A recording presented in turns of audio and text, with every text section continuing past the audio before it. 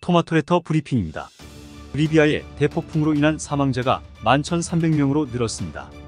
사실상 무정부 상태인 리비아의 정치적 혼란이 사태를 키웠다는 지적도 나오고 있는데요. 무정부보다는 무능한 정부라도 있는 게 나은가요? 미국이 러시아의 전쟁 물자 등의 공급에 관여한 150곳 기업 단체를 제재했습니다.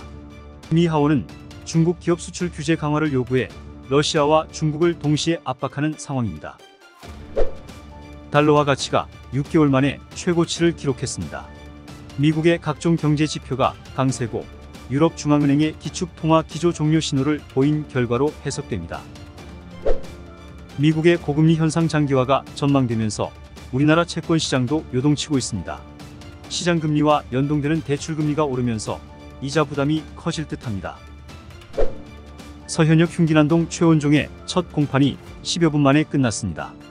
최원종 측이 수사 기록을 못 봤다고 주장의 혐의 인정 여부를 확인하지 못했기 때문입니다. 이에 유족들은 분노했습니다. 토마토레터 브리핑이었습니다.